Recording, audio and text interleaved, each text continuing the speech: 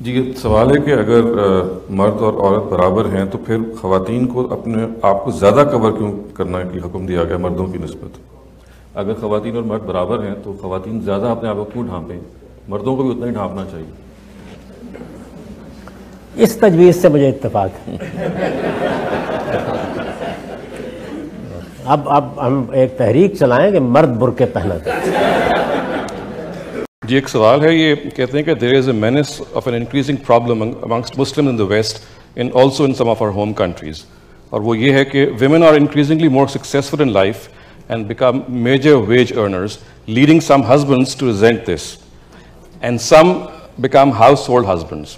And they do not work but stay at home. However in case of divorce they claim alimony from the wife who then ends up supporting any children plus a divorced husband.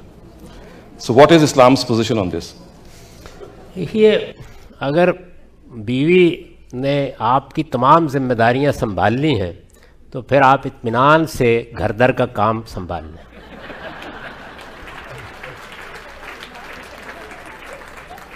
ورنہ رسوائی رسوائی۔ میں اصولی بات اس میں عرض کر دیتا ہوں۔ یہ تو تفنن طبع کے طور پر میں نے عرض کیا۔